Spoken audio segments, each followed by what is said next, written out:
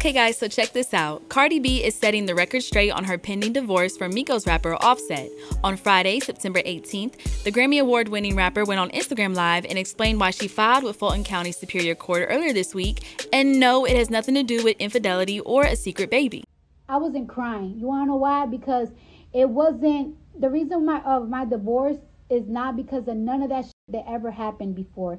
It's not because of cheating. I'm seeing people like, oh, he has a baby on the way. That's a whole complete lie. There's like the second time that people's trying to pin babies over here. No, that's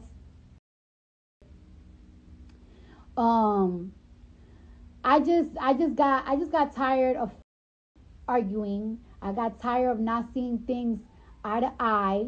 So before when when you feel like it's just not the same anymore, before you actually get cheated on, I'd rather just leave. Cardi filed court docs on Tuesday, September 15th, asking for a dissolution of marriage. She reportedly described their union as irretrievably broken and confirmed there are no prospects for reconciliation. People quickly presumed Cardi was leaving Offset because of his alleged cheating.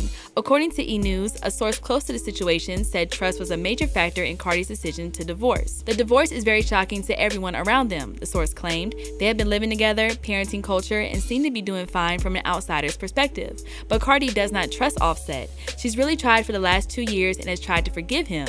It's been hard for her since the last cheating scandal and there have been rumors of him being unfaithful again. He has been pleading with her that he hasn't, but many girls have come forward with claims. She had enough and decided to file. Cardi wants to be a good example for her daughter and women out there. The couple secretly tied the knot in 2017 and have one daughter together. Cardi reportedly wants joint custody of the child and to maintain a friendly co-parenting relationship with her soon-to-be ex.